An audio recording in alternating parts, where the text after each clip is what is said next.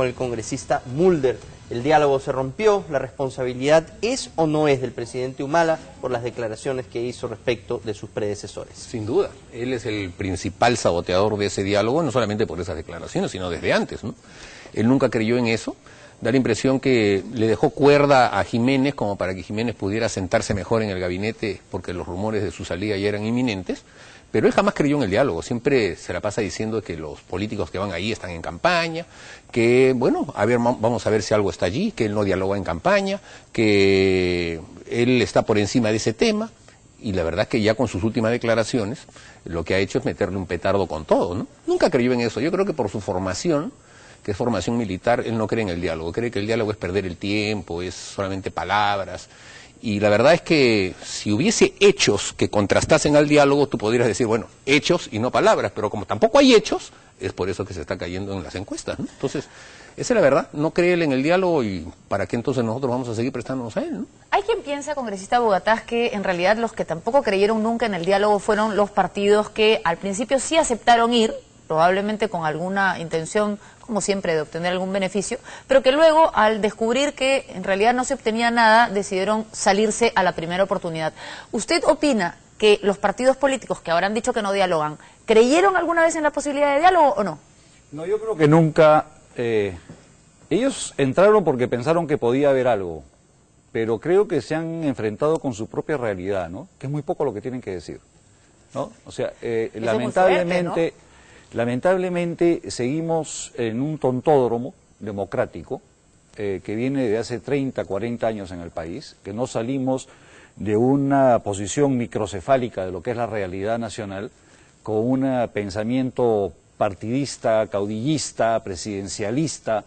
Yo creo que lo que ha querido hacer Jiménez, y dejemos al presidente un momento de lado, lo que ha querido hacer el, el premier Jiménez fue abrir verdaderamente un diálogo pero creo que los propios actores se han encontrado con que ellos no tienen que decir. O sea, si van a hablar del modelo, si el modelo continúa, si el modelo necesita refuerzos, qué hay que hacer, qué cosas tenemos que consensuar, podemos seguir adelante, es necesario. De repente dicen que ni siquiera era necesario el diálogo.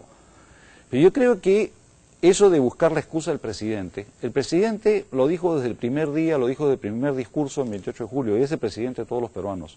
Si alguien debe llevar adelante el diálogo, que es el vocero del presidente, es el premier y el Premier se dispuso a hacer eh, el diálogo. Yo espero que recapaciten y si es que no tienen nada que decir, continúen con su posición, pero si es que tienen algo que decir, bienvenidos, y yo creo que se debe abrir el diálogo. Pero se puede recapacitar con eh, congresista Mulder si le han dicho que forma parte de un tontódromo microcefálico, que no tiene nada que decir, ya, como que... Ya se acabó, pues.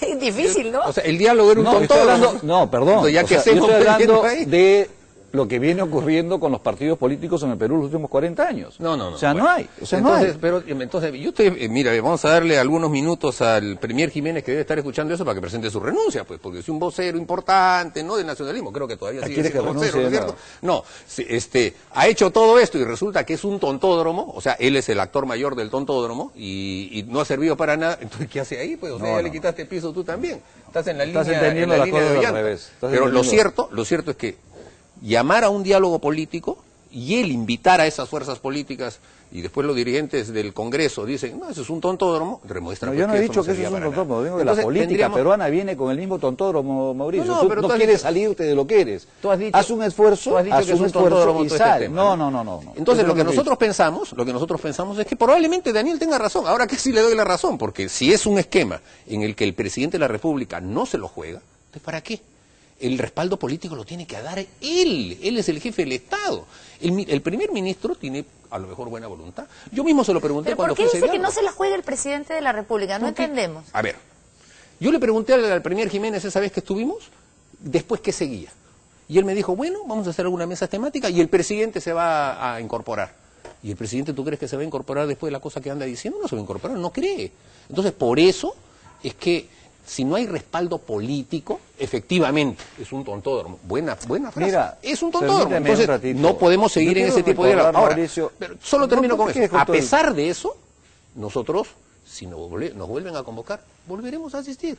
Porque se trata de todas maneras de que no, no pasa nada si conversa. Bueno, ya se dieron cuenta hay que, que tienen algo fructificar que las decir, cosas. ya ¿no? reconoció que van a ir, yo me alegro que ya reconozca que No, van no, a ir. nunca ¿Ya hemos dicho que no vamos a ir. Congresista? Ya veremos, pues todo depende de las circunstancias. Nosotros no estamos en contra del diálogo per se. Lo que queremos es que fructifique, que concrete y que se lleve a políticas definidas a partir del diálogo, no simplemente que sea, como dice él, un tontódromo. ¿no? Lo que más le ha dolido